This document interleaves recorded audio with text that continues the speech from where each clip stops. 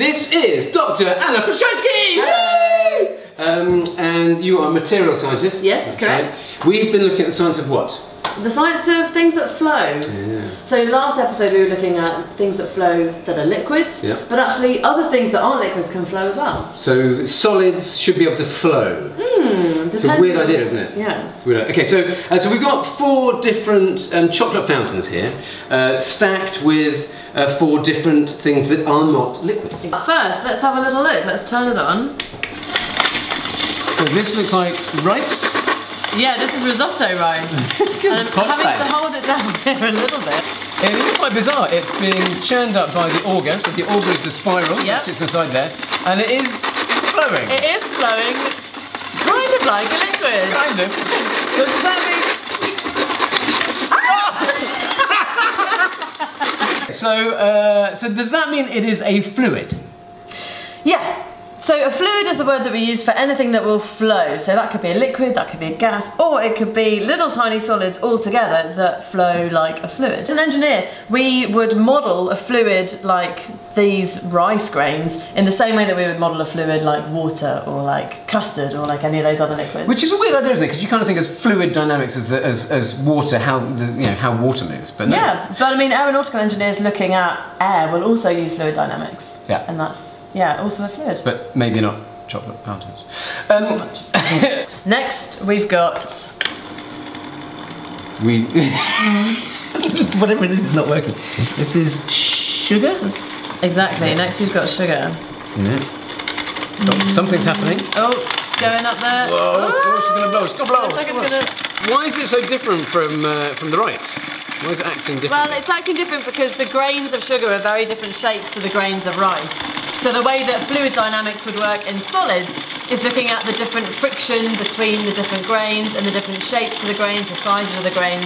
Yeah. All of these are factors in how it will flow. yeah. And the uh, decision on this one is that it's rubbish. Not so great. Not so good. All right. So so uh, sugar doesn't really flow. Uh, So does that mean it's not a fluid? In this yeah, case. in this case, uh, yeah, we'd say it's probably not so much of a fluid. Yeah, so don't put sugar in your chocolate fountain. Um, okay, what's next? This looks very much like sugar. Okay, next up, similar to sugar, similar shape and size. Hey, There we go, there we go. So here we have a couscous fountain. And actually, it's working much better than the sugar. Uh, it's flowing, but it's less of a fountain. It's literally going all over More my of a kitchen. couscous explosion. It's, it It's kind of working. messy, but it's flowing beautifully. So why is that flowing and the sugar doesn't flow? Well, what I suspect is that the, the frictional properties of the surfaces of the grains of the couscous, it has higher friction than, than with the sugar. Yeah. So if you look at the surface of a sugar crystal, it's quite shiny, it's quite flat. Yeah. Whereas this is much rougher, and so they will have bigger friction between the particles of couscous. So the last one is really interesting. Um, we wondered how this would work. We haven't got a clue really. Uh, what we have here is a smoke machine. So smoke, uh, this is stage smoke, which is made of glycerin. So there's a little tank in here with glycerin and water. Okay. And so it's actually a vapor. Uh, the glycerin molecules sort of hang on to the water vapor molecules and sort of float about the air. And so what we would wonder is could we make a, a smoke fountain? First bash.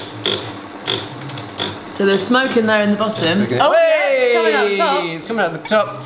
But our problem here is it's not not dropping really. It's not so much a fountain. Oh, it's not doing too badly. Well, it's flowing uphill, certainly. If we stop that for a second and add some ice to it. Oh, okay.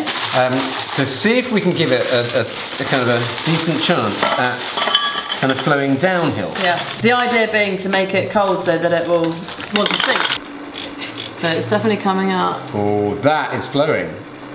It's definitely going down the first one. So now it's heavier than air. We've got half a smoke fountain. It's going down this one. Oh, it's going down the third one.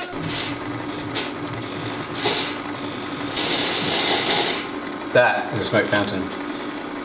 Excellent. Slightly pointless and yet somehow brilliant.